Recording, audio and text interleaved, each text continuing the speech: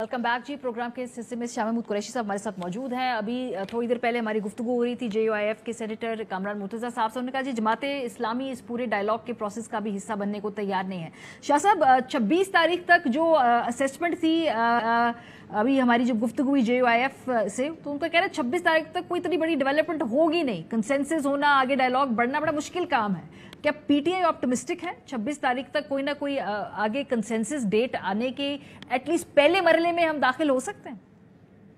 मारिया, पहली बात तो यह है कि पीटीआई ने मुल्क के मफाद में और इस स्टेल मेट को तोड़ने के लिए नेक नियति से कोशिश की।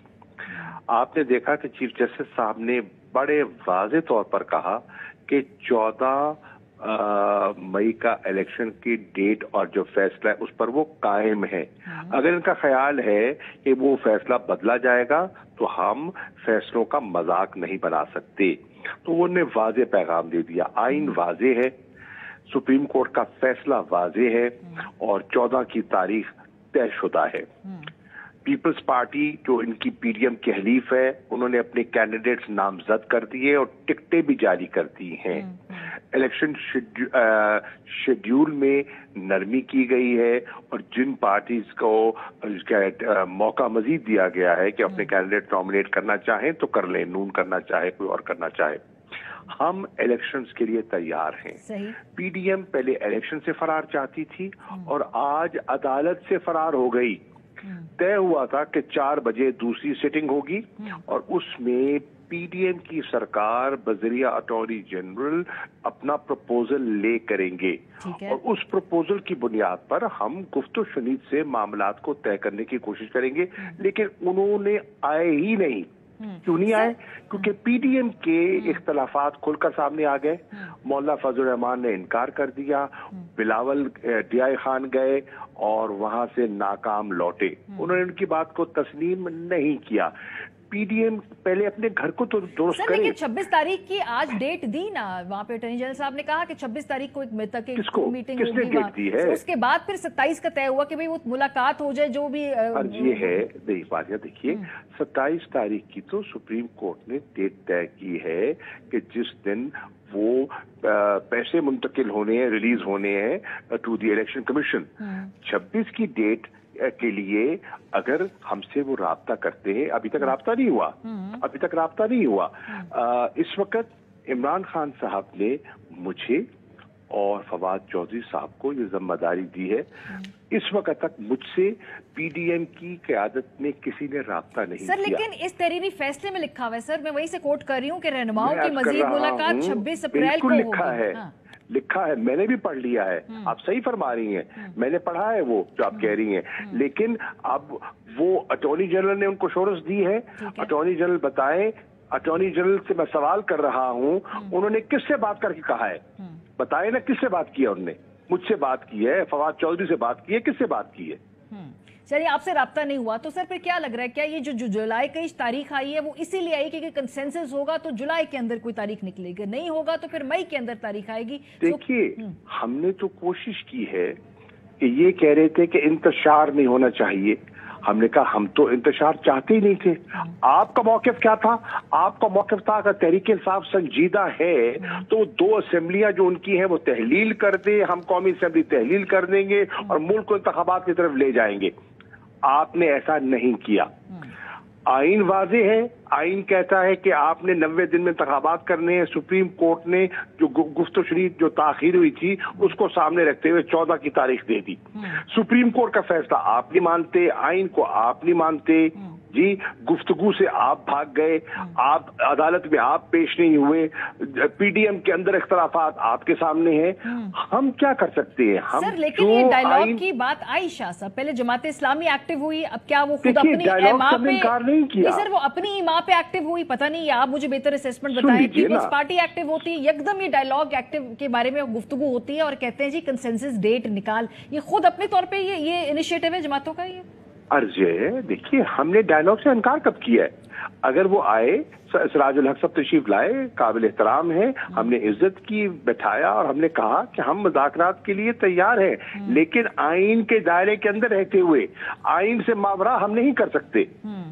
सर फिर तो अगर जुलाई में भी जाएँगे फिर वो भी आइन से मावरा होगा ना अगर कंसेंसस तो की उसके लिए। हमें बिल्कुल सही कह रही है आप। आप बिल्कुल सही कह रही हैं। अगर जुलाई में जाएँगे तो आइन से मावरा होगा। तो उसके लिए हम कह रहे हैं कि अगर ये समझते हैं कि मुल्क के मफाद में है तो अगर गुफ्त शरीफ में बात आगे बढ़ती है तो उसके लिए हमें कानूनी रास्ता निकालना पड़ेगा। हमें वन टाइम शायद कॉन्स्टिट्यूशनल अमेंडमेंट की तरफ़ जाना पड़े। उस अमेंडमेंट कैसे होगी? दो तिहाई अक्सरियत से होगी ना? दो तिहाई अक्सरियत कैसे मिलेगी? पीटीआई असेंबली में होगी तो मिलेगी। सो असेंबली के लिए मैं इसमें इसके लिए आपको वापस जाना होगा और आप लोग जाना चाहते हैं असेंबली में ताकि ये करना पड़े ये करना हो तो हम करें। मुल्क को इस दलदल से निकालना चाहते हैं। हम मुल्क में इंतखाबात चाहते हैं। हम समझते हैं इंतखाबात के अलावा और कोई मुनासिब रास्ता नहीं है। हम्म।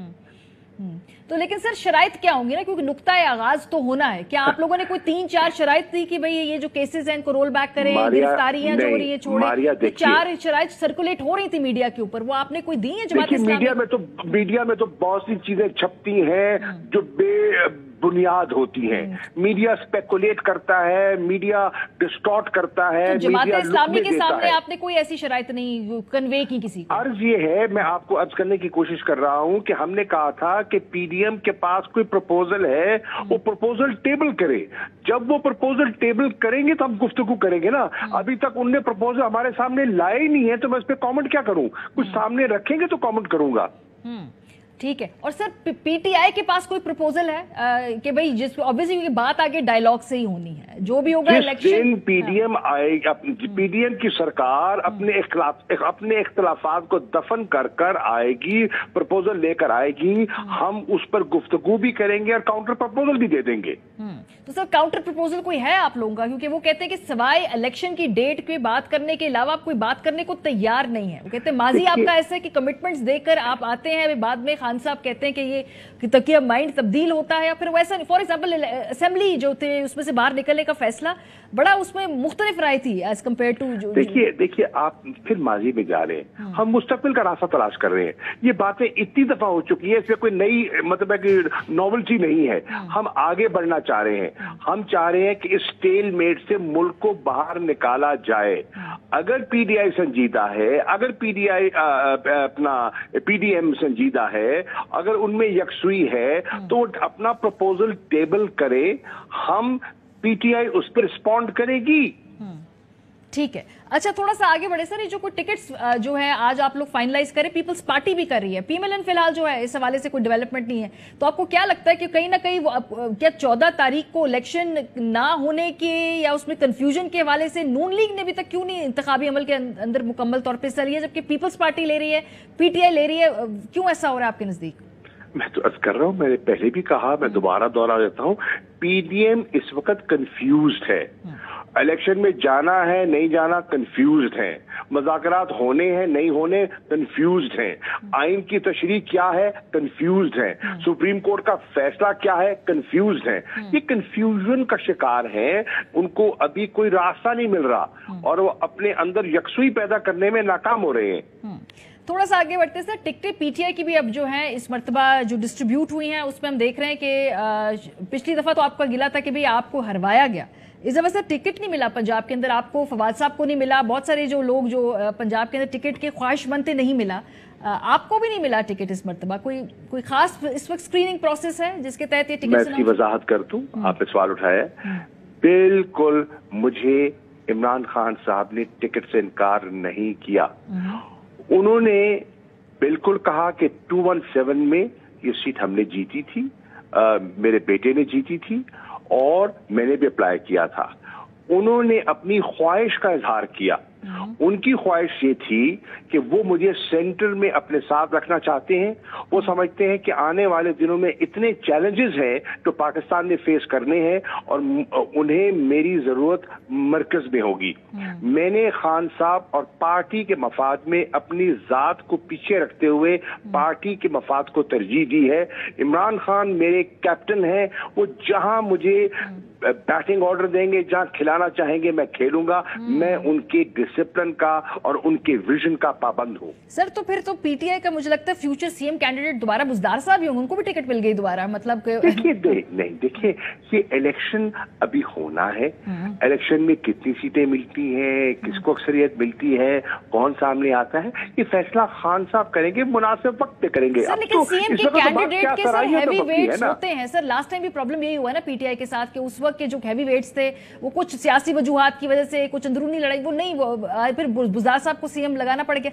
इस मरतबा भी यही लग रहा है कि हैवी वेट्स बाज़ार कोई नज़र नहीं आ रहे तो शायद इसी तरह से कोई, आपका कैंडिडेट कोई आपने पिच तो करना है ना इलेक्शन में कि जी, ये होगा जो आपका सीएम है, आपके सूबे की किस्मत बदलेगा, वो कौन होगा? अभी तक क्लैरिटी नहीं है।